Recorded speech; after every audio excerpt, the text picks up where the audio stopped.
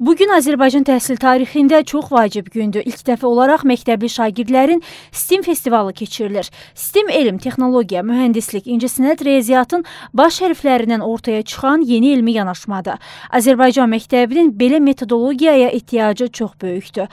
Bunu jurnalistlər açıqlamasında Təhsil naziri Emin Əmrullayev bildirib. 100 mindən artıq uşaq 6, 7, 8-ci siniflərdə Azərbaycanın müxtəlif bölgələrində, yəni həm Bakı, həm digər bölgələrdə bu layihəyə qoşulub. Bundan başqa 15 bölgədə Bakıdan xaric, yəni Bakı şəhəri sayılmamaqla sistem mərkəzlərimiz qurulub. Bəziləriniz o mərkəzlərdə olmusunuz.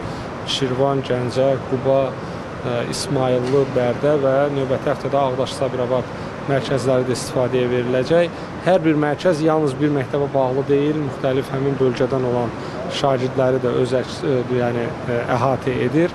Layihənin məqsədi kreativ, yaradıcı düşünmə, şagirdləri müəyyən mənada mövcud olan və yaxud da artıq müəyyən mənada köhnəlmiş mən deyərdim, əzbərləməkdən uzaqlaşdıran. Çünki burada hansısa məlumatı əzbərləmiş şagird gəlib birinci yer tuta bilməz.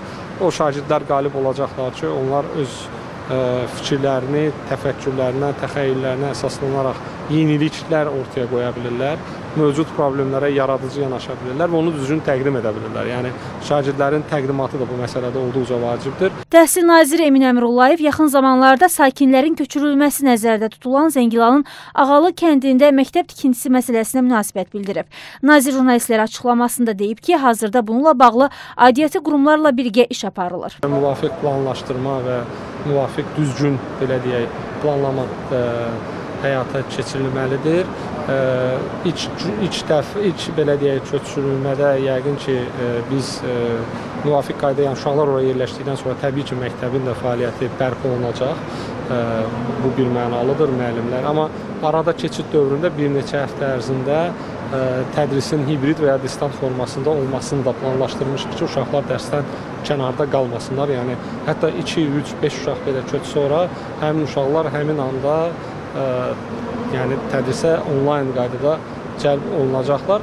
Daha sonra isə məktəbin belə deyək, binası, müəllimləri və bütün infrastruktur qurulduqdan sonra inşallah bu proses bitəcək. Emin Əmrullayev həmçinin qeyd edib ki, Şuşa bir nömrəli məktəbin layihələndirmə prosesi başa çatıb.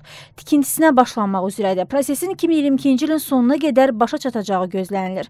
O qeyd edib ki, Ağdam və Cəbrayılda məktəblərin layihələndirmə prosesinə başlanılıb. Yaxın zamanlarda Füzuli şəhərində də məktəb tikintisi ilə bağlı addımların atılması gözlənilir. O vurğulayıb ki, həm Ağdam, həm də Şuşa məktəbi özünün müasirliyi, arxitektur inşaat xüsusiyyətlərinə görə ən müasir məktəblərimizdən olacaq.